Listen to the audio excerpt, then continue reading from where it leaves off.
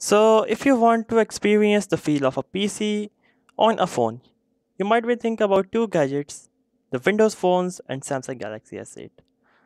Both of them offer a very good desktop experience, but which one is better? Find out in this video. I'm Mustneer Ahmed from the Tech Box and you are watching the Tech In-Depth series episode 1. Stay tuned.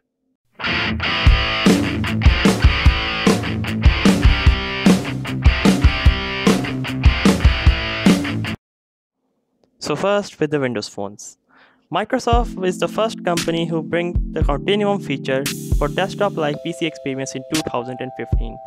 The Lumia 950 and 950 XL, which were the totally rubbish and shit phones, contained this feature. In fact, this was the only feature for the Lumia 950 and 950 XL.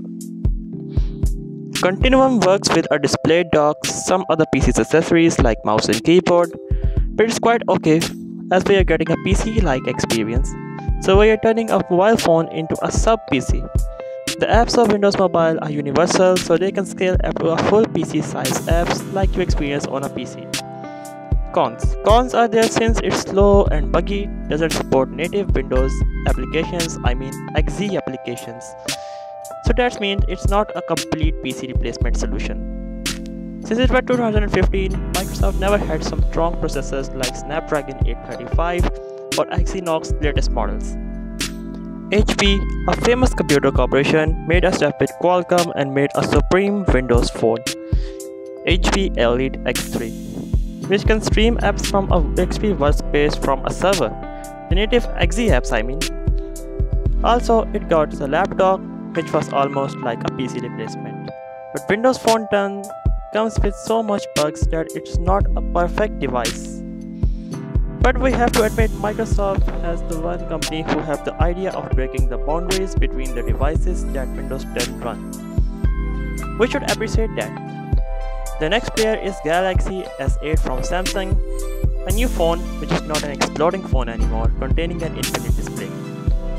This phone is also inspired by Continuum co-engineered by Microsoft the best point is that it has a version of desktop optimized Android software.